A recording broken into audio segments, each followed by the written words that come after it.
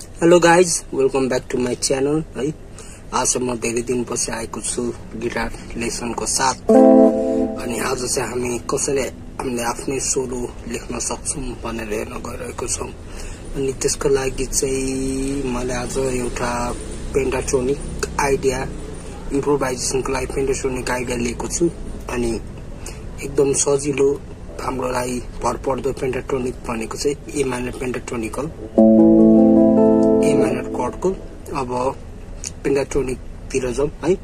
पेन्डाट्रोनिक scale पेन्डाट्रोनिक scale भनेको चाहिँ पाँचवटा नोट भएको स्केल हो है? अब ए माइनर पेन्डाट्रोनिकमा कसरी बजाउने र के के पर्छ भनेर म तपाईँहरूलाई भन्छु।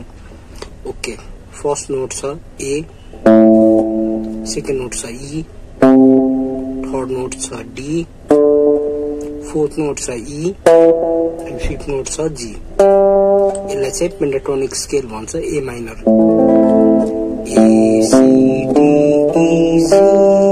भएन? ओके अब भनेपछि अब यसको पोजिसन हेरौँ। आज हामी चाहिँ एउटा मात्रै पोजिसन हेर्दैछौँ है माइनरवाला एकदम फेमस एकदम धेरै लिकहरू बन्छ यो पोजिसनबाट ओके अब यसको भन्छु six स्ट्रिङको fifth fret eight fret fifth स्ट्रिङको fifth fret seven fret fourth स्ट्रिङको fifth fret seven fret third स्ट्रिङको fifth fret seven fret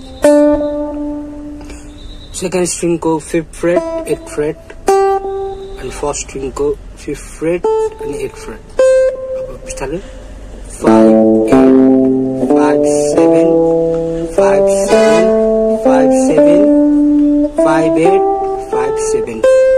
यसबाट हामीले चाहिँ धेरैवटा मिलियनवटा लिक्स होइन बनाउन सक्छौँ।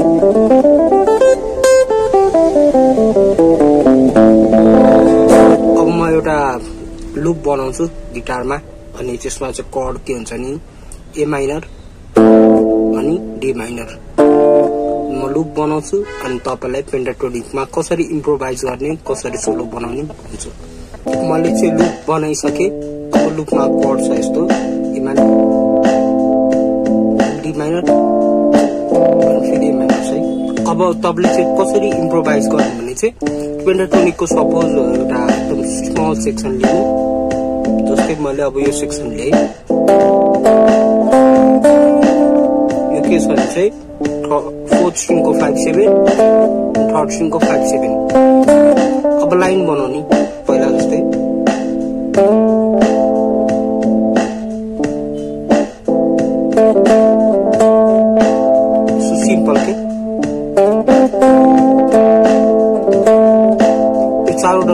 नोट मात्रै खेलाउनु भने चारवटामा इम्प्रोभाइज गर्ने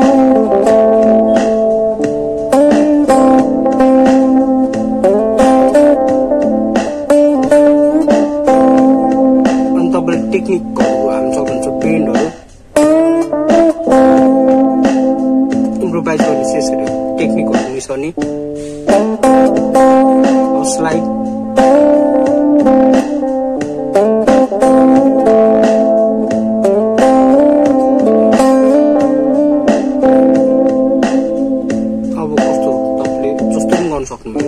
एउटै नोटमा थाम्नु पनि सक्नुभयो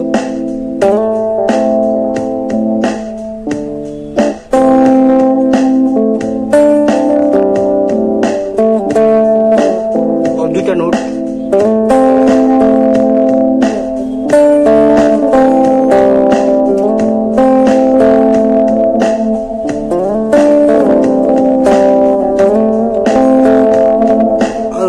चारवटा नोट बाहेक कुनै बजेको छैन क्या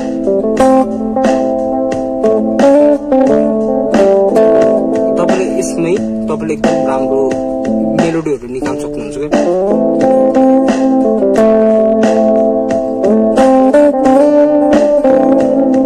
इम्प्रोभाइजेसन चाहिँ यसो स्टार्ट अब सपोज तपाईँ यसमा राम्रो चाहिँ तपाईँले अब सपोज चारवटा तलकै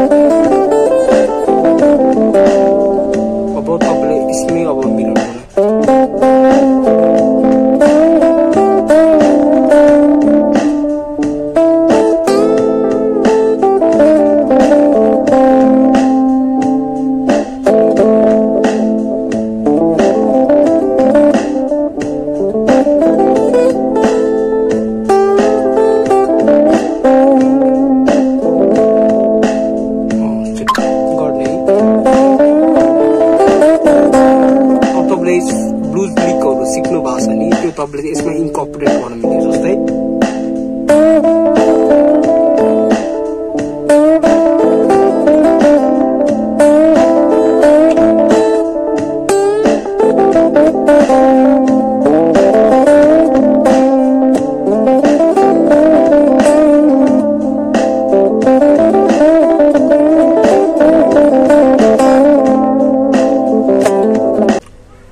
अब तपाईँलाई अलिअलि बेसिक इम्प्रोभाइजेसन त आइहाल्यो। अब तपाईँहरूले प्र्याक्टिस गर्नु होला म बरु पछि कुनै लिक्सको भिडियो लिएर आउनेछु।